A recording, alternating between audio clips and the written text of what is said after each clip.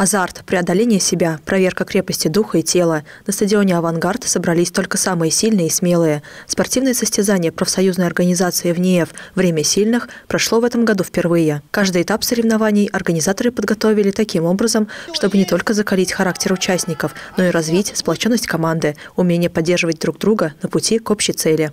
Наша команда настроена позитивно, думаю, как и все а, здесь присутствующие. А, сегодня раннее утро, нас радует погода, солнышко, все радуются. А, пришли сюда, началась регистрация. Нас наградили, нас сразу дали вот такие ленточки прикольные.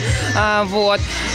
Мы настроены сегодня, конечно же, на победу. Целую неделю провели в пинбольном тире, отрабатывали навыки пинбола. У нас задача всегда только тройка, но сегодня должны первые быть. После регистрации командам раздали маршрутные карты, по которым они двигались от одного этапа к другому. Всего участников ждали шесть испытаний. Каждая станция носила имя одного из великих людей России. На испытании под названием «Петр I» командам предстояло на время разобрать и заново собрать в правильной последовательности большие кубики. На этапе Иван Подобный мужчины состязались в силе воли и физической подготовке. Им предстояло наибольшее количество раз поднять гирю. Проходят они замечательно, все весело, все дружно.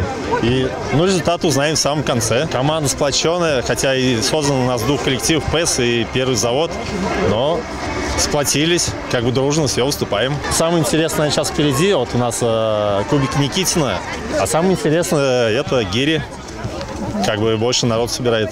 Меткость и острый глаз участникам понадобились на станции пинбольного тира под названием «Калашников». Еще одно из зрелищных испытаний «КамАЗ-мастер» назвали в честь сильнейшей российской команды мирового автоспорта. На этой эстафете участники соревнования «Время сильных» ворочали большое грузовое колесо на время. А на этапе Сергей Лавров в Нефовце показали свою смекалку, логику и быстроту реакции. Всего в состязаниях «Время сильных» участвовало 8 команд по 10 человек – Среди участников были и представительницы прекрасного пола. Мы на! Команды формировались э, необычным образом. Это команда не по подразделениям, это команды, сформированные по направлениям работы. У нас есть команда «Заводчане», и это команда с э, двух заводов.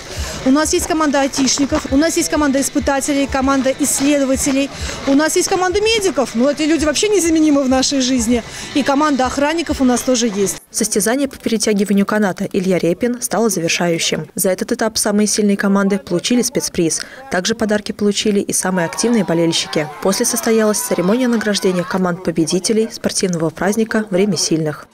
Светлана Юрнова, Константин Островский, Сергей Рябов. Служба новостей Саров, 24.